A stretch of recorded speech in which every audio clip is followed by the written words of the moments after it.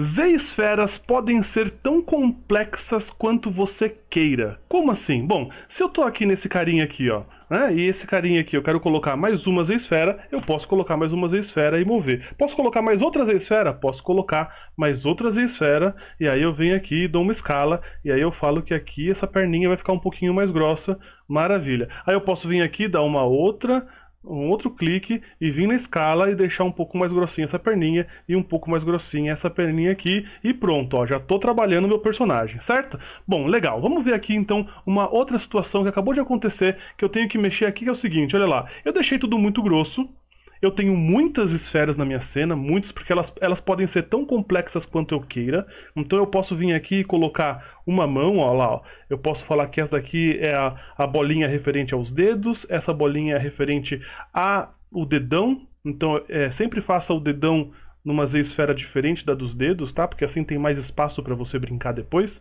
Olha lá, ó. Eu venho aqui, faço uma mão de três dedos ah, fazer uma mão de três dedos. Vai, ele é o avatar do.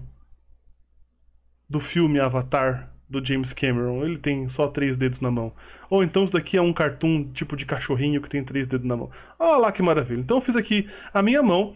E aí, como ela é muito complexa, eu vou querer mover essa Z-esfera. Mas eu vou querer mover ela de forma a eu uh, uh, mover o braço inteiro, certo? Por quê? Porque se eu pegar esse cara aqui e mover, ó, Tcharam! Eu não tô movendo o braço, né? Eu tô com um move aqui, ó. Eu não tô movendo o braço, tô movendo essas esferas. Ah, mas eu quero mover todo mundo aqui, ó. Aí eu pego esse cara aqui, ó, e movo. Ah, já sei. Eu vou clicar então pela é por essa sanfona aqui, beleza? Então eu clico na sanfona e veja bem, ele, ele faz uma doideira, né? Porque ele move a sanfona para os lados, mas ele deixa, ele tenta fazer o possível para que todo o resto do sistema fique igual. Aí você fala: "Não, eu quero levantar o braço". Então aí você vai usar o rotate. E você vai usar o rotate na sanfona. Olha lá, ó. Porque como eu falei, como eu comecei o vídeo, né?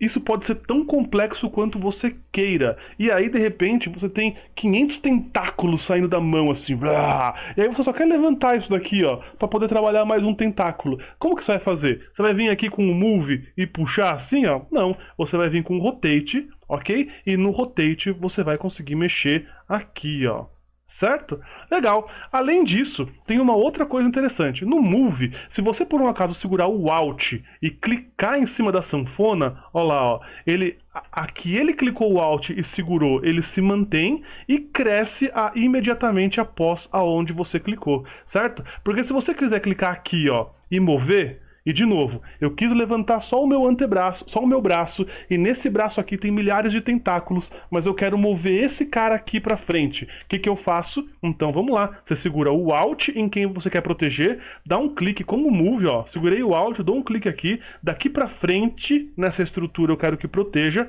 seguro o Alt e puxo, ou seguro o Alt e volto ou seguro Alt e coloco na proporção. Aí eu venho aqui, seguro Alt e coloco na proporção.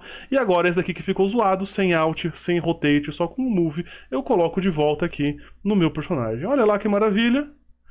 Movi e ficou bacana. Posso pegar aqui o Rotate, dar uma rotacionadinha aqui e eu posso pegar essa mão aqui, ó, ó, dar uma giradinha, porque eu peguei na Z-esfera, ó lá, ó, e dou uma giradinha e aí com o Move agora eu movo ele para cá. E se eu apertar A, Maravilha, tenho aí agora um personagem que é um pouco mais complexo, mas está aí é, demonstrado de forma bacana, porque a gente conseguiu controlar ele, certo? Vou fazer só uma última alteração aqui, só para vocês prestarem atenção que se as duas Z-esferas estiverem juntas, eu vou pegar aqui o Rotate e mexer aqui para cá, ó, e eu aperto A, a gente vai ver que ele vai soldar certo? Ele vai soldar, olha só, ele soldou.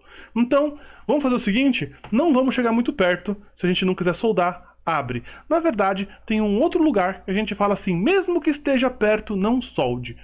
Dentro das configurações da Z-esfera. Mas aí é uma coisa para outro vídeo. Vamos lá para outro vídeo então? Vamos lá.